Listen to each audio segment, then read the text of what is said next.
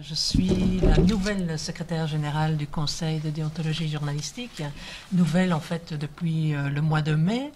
Euh, et auparavant, euh, dans ma fonction précédente, je travaillais au Conseil supérieur de l'audiovisuel où je dirigeais le département études et recherches.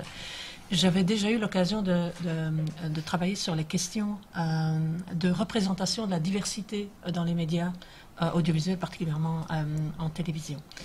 Et euh, un élément que je trouve commun ici dans tout ce qu'on a entendu, euh, c'est en termes de solutions, en termes de réponses à apporter, euh, on a entendu que euh, les journalistes étaient euh, mis en question, le travail des journalistes. On a entendu que la question des représentations médiatiques globales était questionnée. On a entendu ici des pistes de solutions en, en contre-projet. On a évoqué des euh, les réponses des associations de terrain.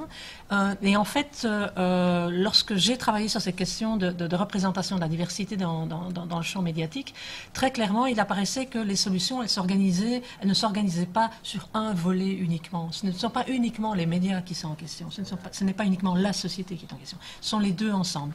Et ces deux, éléments, d'une part les médias et d'autre part la société, ils ne sont pas non plus uniformes. Ils se en différentes instances qui peuvent agir à chaque fois de manière très spécifique. Dans les médias, par exemple, euh, le travail peut être réalisé au niveau de la direction euh, d'une chaîne de télévision.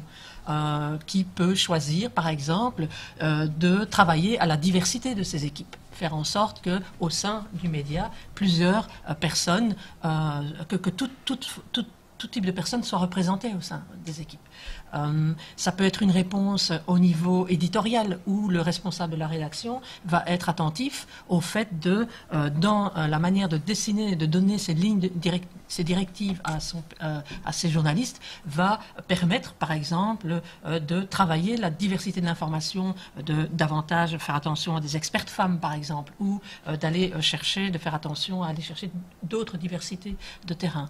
Ça peut être, la réponse, elle peut être sur le plan professionnel et là, euh, c'est par exemple le Conseil de déontologie qui va définir des lignes, euh, des, lignes de bonne pratique en matière euh, de journalisme, de traitement de l'information.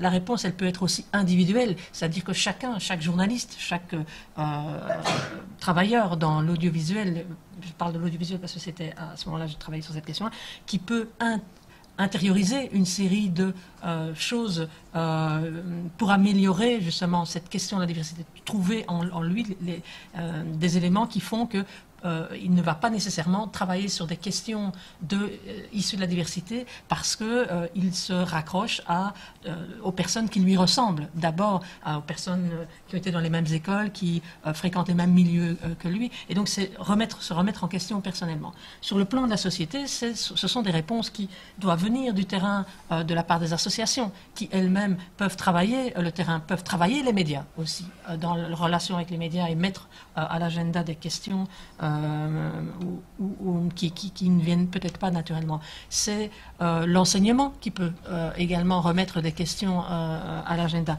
C'est d'autres associations de terrain qui peuvent construire des contre-projets pour justement mobiliser les choses. C'est le politique qui peut dessiner des, politiques multiculturelle d'intégration euh, de manière globale. Et donc la réponse, elle n'est pas dans le champ, dans un seul champ. La réponse, elle est à traiter globalement. Néanmoins, ça, ne veut pas dire que les médias ou euh, les médias ne doivent pas s'interroger. Et donc dans ce nouveau métier que j'ai maintenant, la question se se pose plus particulièrement sur la question du traitement de l'information. Et sur la question du traitement de l'information, il faut rappeler un élément qui est central. Je vais aller très rapidement sur ces, principes-là, mais c'est pour qu'on intègre bien jusqu'où on peut intervenir et euh, ce que l'on peut faire euh, en, matière de, en, matière de, euh, déontologie journalistique. C'est donc ce qui ce qui euh, vaut comme principe dans les démocraties, c'est le principe de liberté d'expression. Et ce principe de liberté d'expression, qui, euh, qui entend que euh, tous les, tout type d'opinion puisse s'exprimer de la plus choquante à la plus provocante, et en ce compris des opinions qui ne sont pas nécessairement majoritaires, qui ne sont pas d'un sens communément accepté, eh bien cette liberté d'expression qui est le principe, elle connaît des exceptions et des exceptions qui sont euh, permises euh, de manière, qui, qui, sont autorisées de manière, de manière spécifique, c'est-à-dire qu'elles doivent répondre à des objectifs précis, elles doivent être, garantir une équité dans le traitement, elles doivent, elles, porter sur des sujets bien précis. Et dans ce régime de liberté d'expression, qui est celui du, qui est un principe démocratique, coexiste le principe de liberté de presse, c'est-à-dire le droit pour le journaliste d'informer euh, de euh, questions euh, d'intérêt général vers le public. Et c'est également pour le public, par rapport à cette question de liberté de presse,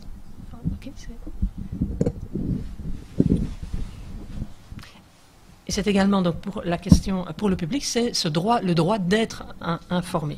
Et cette liberté de presse, euh, à partir du moment où on est dans un régime euh, démocratique, entend donc qu'on ne peut pas intervenir a priori sur un contenu euh, journalistique. On ne peut pas on ne peut pas interdire la publication avant diffusion. C'est donc toujours a posteriori quand, les choses ont été publiées et diffusées que l'on peut intervenir. C'est le principe même de la liberté d'expression euh, qui euh, veut que cela fonctionne comme cela.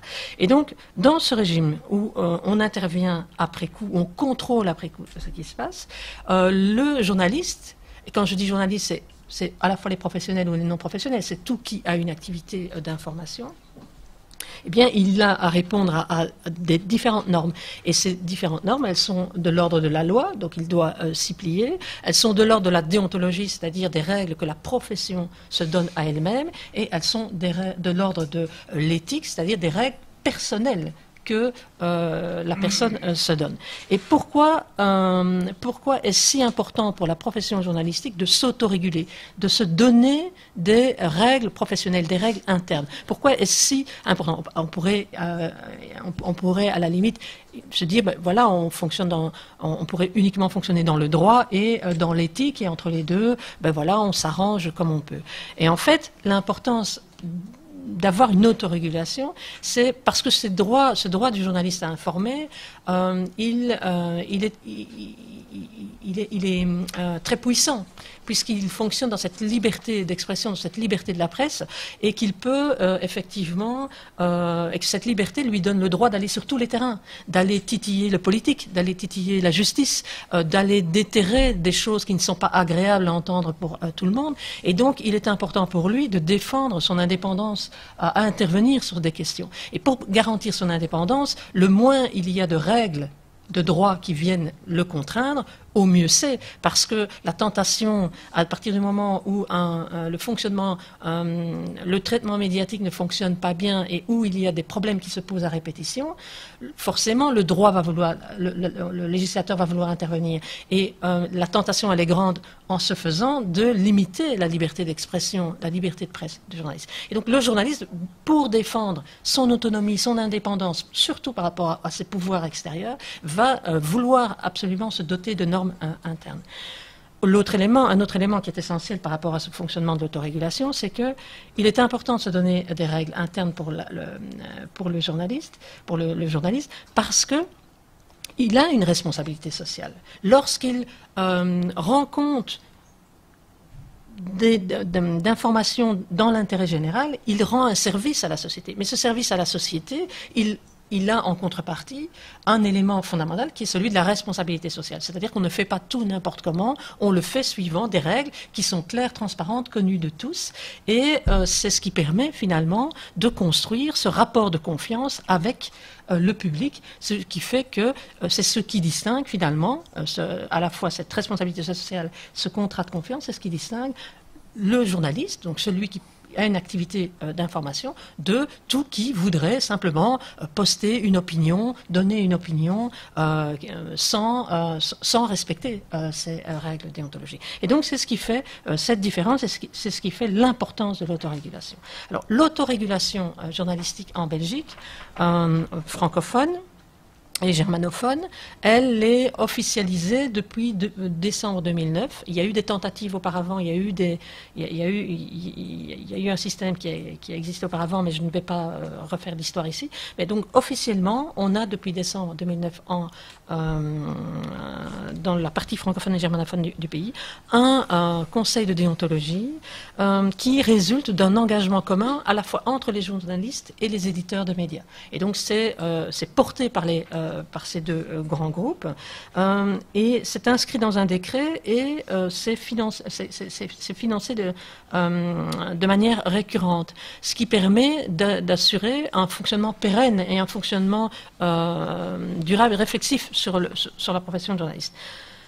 Le conseil de déontologie en lui-même euh, est organisé entre un, euh, un secrétariat général euh, qui, je veux dire, passe les plats et prépare les travaux euh, d'une instance qui, elle, est bénévole et qui est composée à la fois de journalistes, d'éditeurs de médias, de rédacteurs en chef et de membres de la société civile. C'est une des particularités. Ce ne sont pas que des journalistes. Bien sûr, c'est la profession qui tranche, qui, travaille sur, la question, les questions de déontologie journalistique. Bien sûr, c'est normal, c'est logique.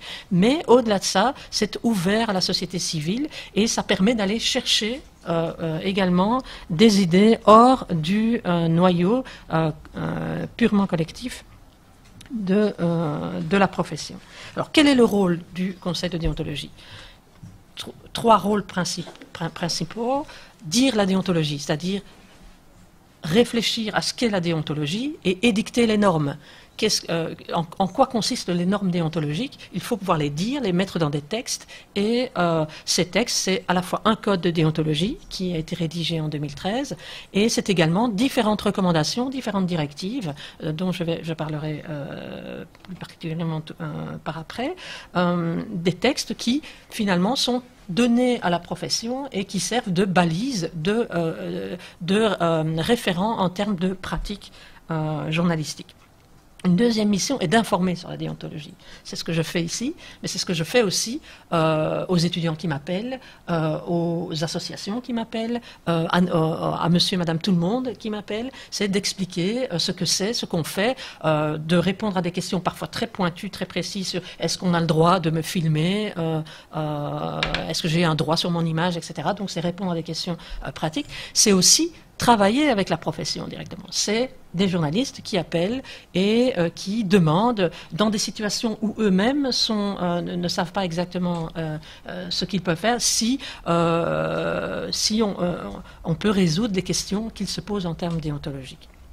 Et puis le troisième élément, c'est euh, la troisième mission du CDJ, c'est de euh, traiter des cas particuliers. Et les cas particuliers, ce sont les plaintes ou les demandes de médiation sur, euh, les, sur des cas spécifiques qui se posent dans les médias. Alors quand on dit cas spécifique, c'est pour un article particulier, pour une émission, une séquence radio ou TV ou radio particulière, un problème s'est posé, et on reçoit une plainte ou une demande de médiation. Mais ce n'est en aucun cas intervenir de manière globale sur, euh, par exemple, je recevrai une plainte qui me dirait euh, la représentation des Roms dans les médias euh, n'est pas correcte, je ne pourrais pas intervenir parce que ça ne touche pas un média et un article ou une séquence en particulier. Donc on, peut, on répond au cas par cas sur les plaintes, mais quand on dit la déontologie, qu'on informe sur la déontologie, on essaie de travailler plus largement en termes de euh, prévention. L'intérêt de l'autorégulation, c'est de responsabiliser le journaliste. Le journaliste a une responsabilité. Et de le responsabilité, de, le responsabiliser, de le responsabiliser lui seul, mais responsabiliser aussi son groupe. C'est aussi la volonté de travailler en émulation. C'est-à-dire que en euh, rédigeant les textes, en euh, travaillant sur les recommandations, les directives, on essaie d'anticiper euh, les, problèmes et donc d'essayer de répondre en, en, redonnant les balises dans lesquelles le journaliste est censé fonctionner. La plainte, c'est un traitement a posteriori, qui est une réponse effectivement plutôt au cas par cas, mais qui est là aussi pour faire évoluer les pratiques. Depuis 2009. Ce n'est pas moi qui le note parce que moi je suis arrivée récemment, euh, mais en tout cas les, membres du Conseil de déontologie et euh, euh, mon prédécesseur notait qu'on avait on sentait qu'il y avait une évolution. Alors l'évolution, une évolution dans les pratiques. Alors l'évolution, c'est pas la révolution, c'est des changements. Pourquoi? Parce que chaque plainte permet euh, à, la fois le fait de travailler sur l'information en amont et de travailler après sur les plaintes en, aval permet euh, euh, aux rédactions de réfléchir à la manière dont elles travaillent et donc de poser petit à petit au sein des rédactions des bonnes pratiques et donc des problèmes qui se posent parfois de manière très forte à certains moments peuvent après se résorber parce que les bonnes pratiques ont été intégrées par la suite. Et donc, ce n'est pas inutile de travailler dans la réponse et dans la réplique. Euh, c'est important de travailler en contre-projet, mais ça a aussi son importance de travailler sur euh, les plaintes parce que ça peut faire changer euh, les choses. Et une chose à pointer aussi, c'est qu'une plainte qui serait déclarée non fondée par un conseil de déontologie, quelqu'un a déposé plainte, la plainte a été traitée et un enjeu, il y avait un enjeu déontologique et dans sa conclusion, le conseil de déontologie va dire non non, le journaliste, ou le média a bien fait son travail et la plainte n'est pas fondée, même ces avis-là sont importants. Parce que le simple fait d'avoir eu une question et de l'avoir posée amène à devoir réfléchir nécessairement sur la, manière de, euh, de traiter l'information. Alors, le texte principal sur lequel le Conseil de déontologie se base et euh, qui est la référence pour les journalistes euh, dans la partie francophone et germanophone du pays, c'est donc le Code de déontologie 2013 qui comporte quatre parties. Alors, je ne vais pas les, détailler, ce n'est pas l'objectif. Gardez juste en tête qu'il y, a quatre axes majeurs. Dans ces quatre axes, euh, qui sont quatre éléments auxquels le journaliste doit veiller lorsqu'il traite l'information, euh, on retrouve la recherche et le respect de la vérité, qui est un élément fondamental. On ne peut pas mentir, on ne peut pas tronquer les faits, on, euh, on doit, dans la mesure du possible, citer les sources. Donc on doit savoir, on doit pouvoir sourcer euh, euh, ce qui est dit, ce qui est annoncé. Euh, donc cette partie-là, c'est informer dans le respect de la vérité. La partie 2, le deuxième axe, c'est informer de manière indépendante. Le journaliste doit garantir qu'il n'est soumis à aucune, qu'il ne, répond à aucune pression, qu'il ne, euh, ne euh, donne pas de l'information, qu'il n'a pas un rôle de propagandiste ou un rôle de euh, publicitaire. Ce sont des choses qui sont à, assurer de manière distincte. Il ne doit répondre en fait qu'à des consignes qui viennent de sa hiérarchie rédactionnelle et il ne doit pas répondre à des, à des contraintes extérieures. La partie 3, l'axe 3, euh, le journaliste doit agir en toute loyauté par rapport à ses sources, par exemple. S'il il donne un engagement euh, de, ne pas citer ses sources, euh, de respecter l'anonymat de ses sources, il doit, il doit le respecter. c'est d'utiliser des méthodes loyales aussi à certaines exceptions. c'est également la confraternité, éviter le plagiat entre eux. Donc ça, ce sont les éléments de loyauté. Et puis vous avez en dernière partie le respect du droit des personnes, euh, qui comporte un volet, le respect euh, euh, du droit à l'image, le respect de la vie privée, le, respect de la dignité humaine et euh, euh, le fait d'éviter de mentionner des caractéristiques personnelles qui touchent les questions euh, de représentation justement des diversités. Et c'est là évidemment qu'on va trouver la plupart des, plaintes qui portent sur stigmatisation, généralisation abusive, mais toutes ces dispositions prévoient, et on va le voir plus en détail après, prévoient une exception qui est celle de l'intérêt général. On ne peut pas euh, on ne peut pas euh, euh, diffuser des images qui portent atteinte à la dignité humaine, sauf cas où l'intérêt général vient primer les choses. Et c'est, si vous voyez, récemment, il y a eu toute une polémique sur Facebook sur la photo de presse où on voit cette petite fille vietnamienne qui, court, qui, qui date qui a été censurée par les algorithmes Facebook.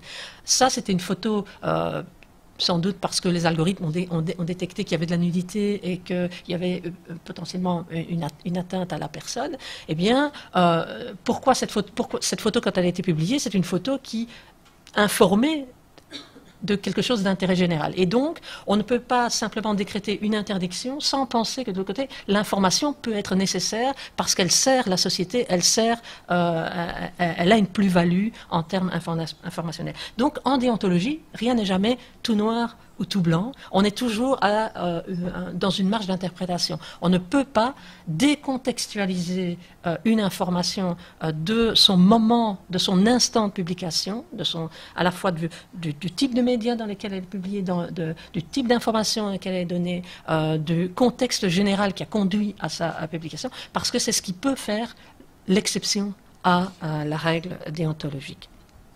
Alors, en termes, dans, le code de déontologie, on va trouver, je vais, essayer de ne pas être trop, longue, euh, si jamais euh, je vous me faites un signe et,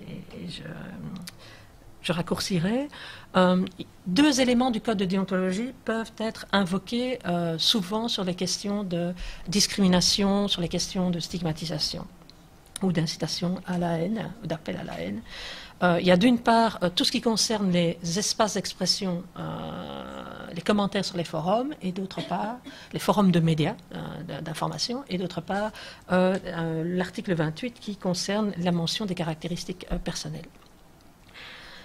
Ces deux, je pour moi, c'est facile d'identifier les deux, mais en même temps, ces, éléments-là ne sont jamais mobilisés tout seuls. C'est rare qu'ils soient mobilisés tout seuls, surtout pour l'article 28.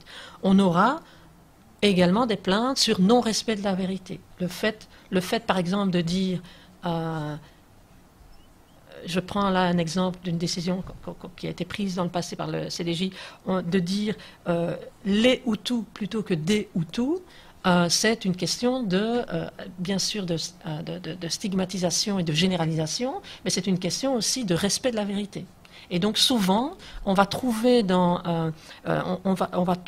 d'autres éléments du code que les éléments que je vais ici détailler pour venir étayer une plainte pour un, un, article qui aurait été, un article ou une séquence qui aurait été jugée discriminatoire ou stigmatisante.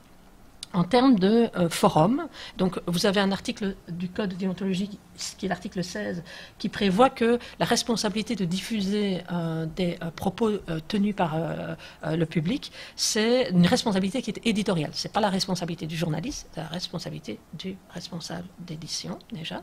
Et par rapport à, cette, à ces paroles, il y a une obligation de les gérer, de les modérer et d'en respecter le sens. On ne peut pas les transformer, mais on doit pouvoir les modérer et gérer. Et par rapport à cette disposition, très tôt, avant qu'il n'adopte le code d'ailleurs, euh, le euh, Conseil de déontologie en 2011 a adopté une recommandation sur les forums ouverts sur les sites de médias. D'une part, par rapport à l'expression des journalistes sur ces nouvelles formes de communication, mais ça ne le concerne pas ici, mais d'autre part aussi sur l'expression des différents internautes sur les articles liés sur les espaces ouverts euh, en lien avec les articles publiés sur Internet. Et donc on parle bien ici des espaces ouverts à discussion en lien avec, euh, avec l'information des médias. On est sur des sites de médias. Et euh, là, très clairement, euh, l'obligation, elle n'est pas une obligation de résultat. Il faut bien retenir que dans ce cas-là, ce qui est en jeu, ce n'est pas la parole du journaliste, c'est la parole du public. Donc, on n'est pas, dans, pas dans le respect du code de déontologie, si ce n'est sur ce, ce volet de l'article 16 et de la recommandation. C'est bien le public qui s'exprime suite à la publication d'un article. Donc, cette parole-là, elle est libre, il y a une liberté d'expression, et on doit pouvoir admettre qu'elle s'exprime dans toute sa diversité et dans tout, dans tout ce qu'elle peut avoir de polémique, de choquant. On peut ne pas apprécier, mais on doit euh, pouvoir. Euh, néanmoins, le Code de déontologie demande de gérer ces, commentaires et euh, de gérer, de modérer ces, commentaires quand ils passent un cap quand ils euh, euh, deviennent euh, racistes, haineux, quand ils incitent à la haine, quand ils deviennent proprement injurieux. Et donc là, le média a une responsabilité qui est de modérer, donc c'est-à-dire de, suivant une charte qui lui interne, qui lui est propre. chacun, chaque, chaque média définit ses propres règles, soit supprimer l'espace, soit euh, le corriger, soit retirer les, internautes, soit euh, appeler au calme, etc. Mais euh, chacun donc définit une charte et il a une obligation de moyens. Donc il n'a pas une obligation de résultat. certaines choses peuvent échapper à la vigilance, les sensibilités peuvent parfois ne pas toujours détecter certaines, certaines formes pas, euh, ils n'ont pas une obligation d'avoir à chaque fois un résultat euh, probant, mais ils ont l'obligation au moins de mettre en place tous les outils pour permettre ça et de pouvoir y répondre de manière euh, structurée. Donc ça, c'est un premier volet. Le deuxième volet, qui concerne l'article 28, là, ne touche pas au public, mais touche les journalistes directement. Donc les journalistes ne peuvent mentionner les caractéristiques personnelles que si celles-ci sont pertinentes au regard de l'intérêt général. Et là, on revient sur une question qui était évoquée tout à l'heure. Doit-on évoquer la nationalité quand on parle euh, des terroristes, par exemple Doit-on évoquer la nationalité de telle personne qui a commis un délit euh, Doit-on euh, évoquer euh, l'orientation sexuelle de telle personne C'est au sens large. Ça ne touche pas que la question. Cet article ne vise pas que les questions liées à, l'origine. Ça touche de manière large tout ce qui peut globalement caractériser les personnes. Alors, dans la jurisprudence du CDG, c'est-à-dire dans les cas qui ont déjà été euh, passé euh, à l'analyse euh, suite à des plaintes par le CDJ, il y a eu des cas où effectivement la mention de caractéristiques personnelles a été jugée comme non pertinente parce qu'elle n'apportait pas une information au public. Et donc, le fait de, préciser que tel, auteur de délit est de telle origine, et qui ne permet, si ça ne permet pas d'expliquer le délit euh, autre, autrement, si ça n'apporte rien à l'information, à ce moment-là, effectivement, ça peut être jugé comme euh, fondé. mais le CDJ a également considéré que certaines informations euh, qui portaient sur l'origine ethnique ou, religieuse d'un auteur de délit pouvaient expliquer le délit. Et donc, était une information qui était utile. Et donc, ce n'est pas une réponse, comme je le disais tout à l'heure, c'est ni une réponse tout en noir ou tout en blanc, c'est à chaque fois le contexte qui va permettre de déterminer si cette information est pertinente ou non, si elle sert l'intérêt général ou si, euh, si, elle, si elle apporte une plus-value à l'information ou si au contraire elle est juste là pour, euh, un, comme un élément qui satisfait une forme de curiosité euh, qui n'apporte rien à l'information. Et c'est sur cette barrière-là, sur cette frontière-là que la chose va se jouer. et la deuxième volet de, de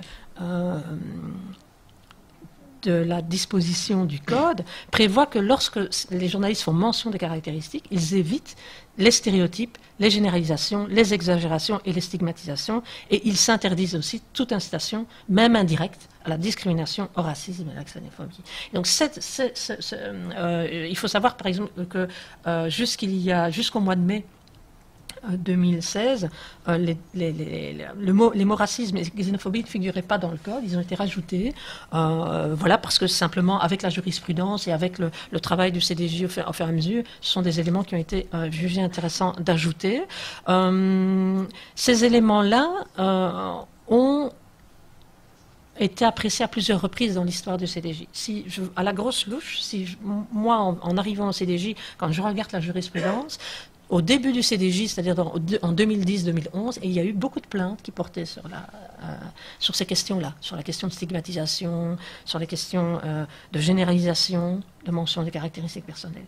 À l'époque, euh, le CDG a créé toute une jurisprudence en lien avec une recommandation qui existait depuis 1994, euh, des recommandations euh, qui étaient relatives à l'information, qui, portaient sur l'information relative aux allochtones, qui avaient été travaillées par l'AJP, l'Association des journalistes professionnels à l'époque, et avec le Centre pour l'égalité des chances, ainsi qu'avec une série d'experts en diversité.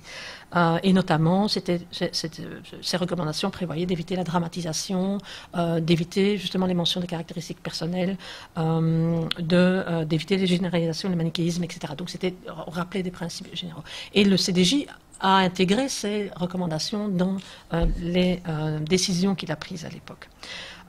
et puis, il y a eu, c'est comme s'il y avait eu une forme d'autorégulation. C'est l'objectif du CDJ aussi. C'est-à-dire que pendant une série d'années, on n'a plus vu vraiment ces questions-là. Elles revenaient de temps en temps, mais pas de manière très forte. En 2015-2016, on a eu une résurgence de ces questions-là. Alors, ça peut s'expliquer par beaucoup de choses. La crise de la migration, euh, ça peut s'expliquer euh, par euh,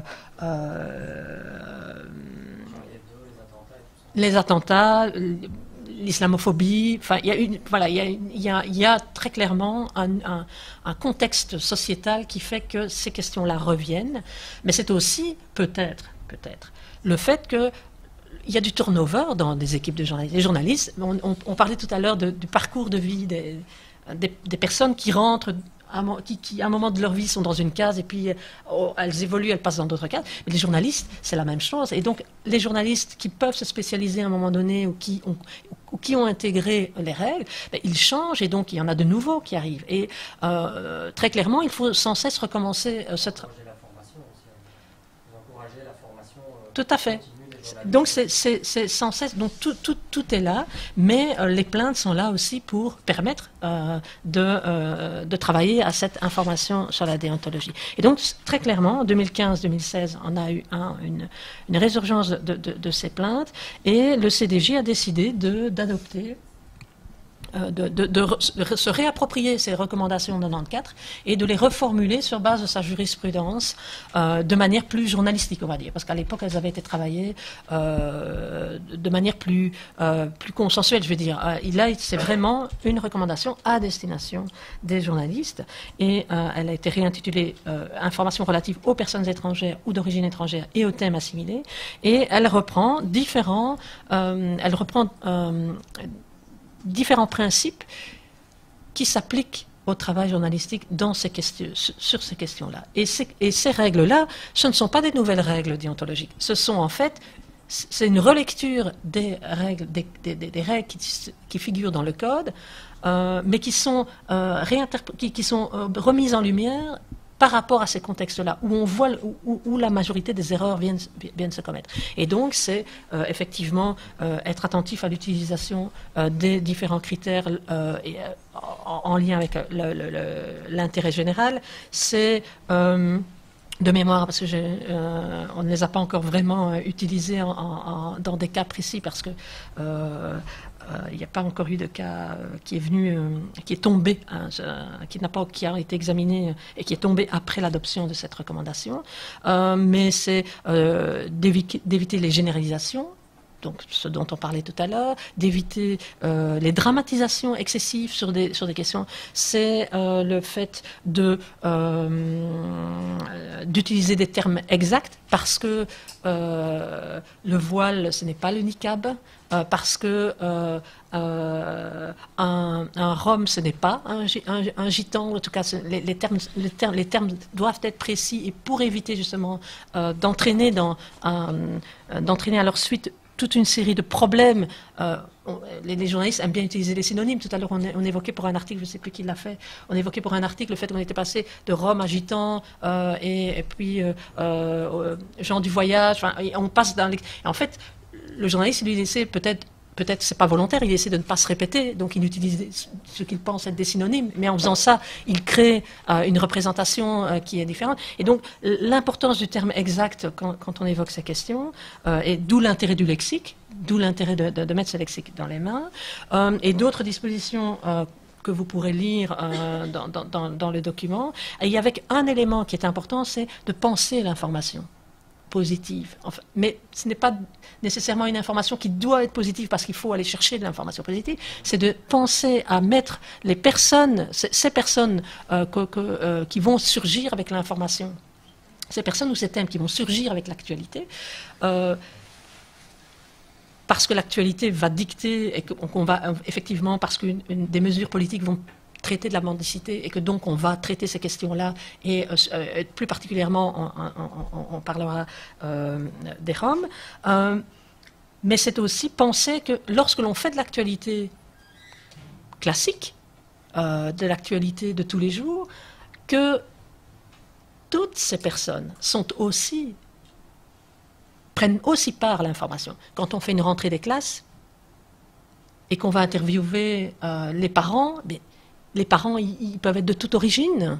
Et euh, c'est aussi une manière de, euh, de, de, ne, de, ne, pas, de ne pas cantonner la représentation de la diversité dans, une dans, dans, un créneau qui ne serait que euh, la délinquance ou la, la, victimisation. Et donc, en fait, ces éléments-là sont là, mais en même temps, on ne dit pas aux journalistes faites de l'information positive, parce que ça, ça n'a pas de sens. L'information, elle est dictée par l'actualité. Et donc, et donc mais c'est dans la manière d'approcher les choses euh, qu'il faut, euh, euh, qu'il faut travailler. Et donc ces recommandations, elles circulent actuellement dans, la profession, elles ont beaucoup d'écho, elles en ont d'autant plus que, effectivement, comme plusieurs plaintes sont arrivées sur ces sujets-là, petit à petit, voilà, il y a une nouvelle, jurisprudence. La jurisprudence aujourd'hui du CDJ, elle est constante, mais ces éléments-là repercolent de nouveau dans les, dans les rédactions. Il y a, je pense, vous l'avez pointé tout à l'heure, un intérêt une nouvelle manière d'approcher. On sent qu'il y a des nouvelles façons d'approcher les questions liées aux personnes étrangères, aux personnes d'origine étrangère et aux thèmes assimilés. Il y a une nouvelle des nouvelles approches plus individualisées, plus, euh, plus, plus ouvertes, plus, euh, plus diverses, on va dire. Euh, le changement, il ne se fait pas en une seule fois, il se fait petit à petit. Et il y a des éléments très certainement de progression et, et, le travail du CDJ y participe. Mais encore une fois, ce n'est pas le seul travail qui se fait. Alors, juste, je termine, j'ai déjà donné plusieurs éléments là-dessus. une fois qu'une plainte arrive au CDJ, au conseil de déontologie. Il ne faut pas nécessairement avoir un intérêt à agir pour déposer plainte chez nous, donc n'importe qui peut le faire. Euh, il faut que le média, le média, l'article soit précisé, il faut que des motifs soient donnés, que dans ces motifs, il y ait un enjeu déontologique qu'on puisse retrouver. Euh, il y a un, délai, de deux mois après publication, donc ça, ça doit être recevable. Euh, ça va passer par une procédure. Dans la procédure, il y a nécessairement une médiation. Pourquoi? Parce que l'objectif du CDJ n'est pas de punir le premier objectif, c'est de changer, c'est de travailler les bonnes pratiques. C'est ça l'objectif premier du CDJ. Euh, et dans ce travail euh, de euh, bonnes pratiques, le résultat, est, il, est atteint si dans une médiation, on trouve un équilibre entre, d'une part, le plaignant qui n'avait peut-être pas compris ce que faisait exactement le média ou qui euh, avait raison et le média va comprendre qu'il avait euh, eu tort et donc il va rectifier les choses. Et donc le travail là de médiation permet simplement une, permet une prise de conscience à la fois au sein de la rédaction et au sein euh, et pour le journaliste et aussi pour le, la personne qui dépose plainte. Mais si la médiation n'aboutit pas, eh bien c'est le conseil de déontologie qui donne son avis, qui décide, qui tranche, c'est fondé ou ce n'est pas fondé. Et, et, et là tout le travail, je pense, euh, de, pédagogie qu'on doit faire, c'est de faire comprendre que ce n'est pas non plus une forme. bien sûr, il y a une forme de réparation Soyons clairs, si, une plainte est déclarée fondée, il y a une forme de réparation. Mais l'objectif, c'est vraiment de faire changer les choses. Et un avis qui, est déclaré non fondé, il est aussi important qu'un avis euh, qui est déclaré fondé. Parce qu'il dit la déontologie, il dit aussi ce qui été bien fait. Et donc, pour les autres médias, pour le média, ça aussi, c'est une manière de le conforter dans sa façon euh, de faire et, de comprendre aussi ce qui été, ce qui n'a pas été. Et donc, c'est ça, c'est tout l'intérêt de la déontologie, c'est de travailler sur euh, les pratiques pour faire bouger les choses. Alors maintenant, quand un avis est fondé, il y a quand même, entre guillemets, une forme de sanction symbolique, puisque, euh, euh, d'une part, la vie est publique, euh, mais le média qui est, pour lequel on, pointe que le grief est fondé, doit publier sur son propre site, sur sa page d'accueil, sur l'accueil de la page de son site, doit publier la décision pendant 48 heures, et l'article ou la séquence qui reste en ligne doit avoir, doit renvoyer de manière explicite à l'avis du CDJ. Donc l'archive est en ligne, mais elle, est, porte sa correction euh, qui, est, euh, qui est liée à l'avis du CDJ.